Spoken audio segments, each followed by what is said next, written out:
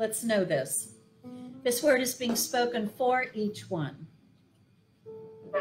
No matter what anybody believes, no matter what kingdom of consciousness anyone is in, there is a loving presence,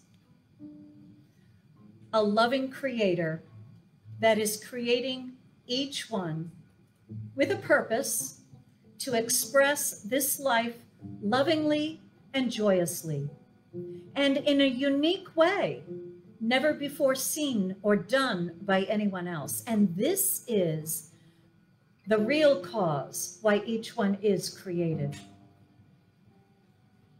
And so this loving creator knows what is needed to be on this planet Earth at this time with this human race.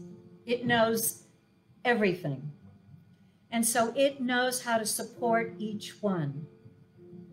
Each one in a unique and specific way. It knows what each one desires in their heart. And this infinite mind knows how to bring to each one the fulfillment of that desire. Because the fulfillment of that desire, which is planted within each one's heart by that divine presence, the fulfillment of that desire is necessary for the highest and the greatest good of all. The peace that each one desires is necessary for each one to have for world peace to be.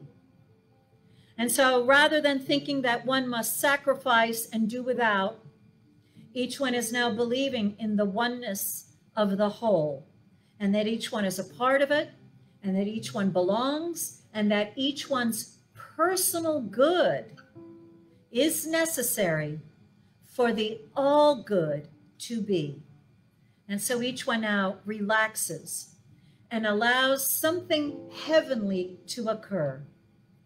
Call it a miracle, call it support, call it guidance, call it the answer, call it the check is in the mail, call it whatever it is. That divine knows what is required and is right now causing it to be created. Each one accepts the gift and all is good. Each one now has a personal experience of being blessed by that loving presence. This is the truth. I'm glad it's the truth. I release this word to God's law, so grateful it is done. Not by me, by God. Thank God. And so it is. All right, so that's the